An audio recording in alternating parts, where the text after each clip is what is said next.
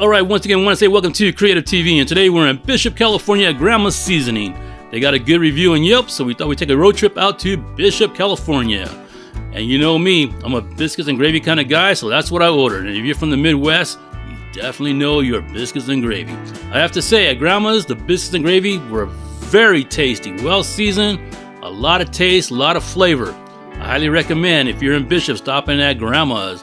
The French toast was on point. French toast, you really can't mess that up. So, 5 out of 5 for me at Grandma's Seasoning in Bishop, California. Highly recommend it.